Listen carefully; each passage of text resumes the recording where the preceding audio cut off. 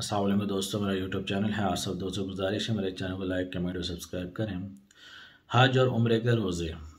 حج و عمرے کے حرام باندھے ہوئے کسی بیماری کے سبب ساری یا بدن کے بالوں کو منڈوانے کی مجبوری ہو تو ایسی کرنا جائز ہے، مگر اس کا فدیہ دینا ضروری ہے۔ وہ فدیہ صدقہ، قربانی یا روزے کی شکل میں ادا کیا جا سکتا ہے۔ اور روزے کی صورت میں فدیہ کے تین روزے رکھنے ضروری ہوتے ہیں، چنانچہ شار باری تعالیٰ ہیں۔ ولا تحلیق اور اوسکم حتیٰ یبلغ الحد یوم فمن كان منكم مريضا او به عظم راسه ففدیۃ من صيام او صدقۃ او نسک اور حجامت نہ کرو اپنے سروں کی جب نہ پہنچ چکے قربانی اپنے ٹھکانے پر اور پھر جو کوئی تم میں سے بیمار ہو یا اس کو تکلیف ہو سر کی، تو تو بدلہ دے روزے یا خیرات کیا قربانی۔ جو لوگ حج عمرے کی شرک حج میں جمع کر دے، تو ان پر دونوں باتوں کو جمع کرنے کا شکرانہ ادا کرنا ضروری ہے۔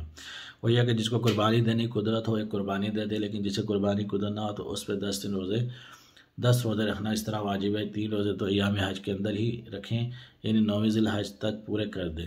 باقی سات روزے حج سے فارغ ہو کے جہاں چاہے جب چاہے رکھیں۔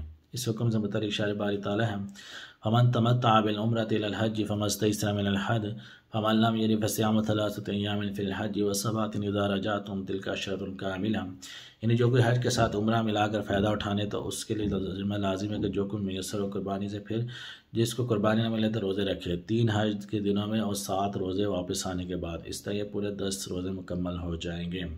اور رب العالمین عمل کرنے کی توفیق تحمہ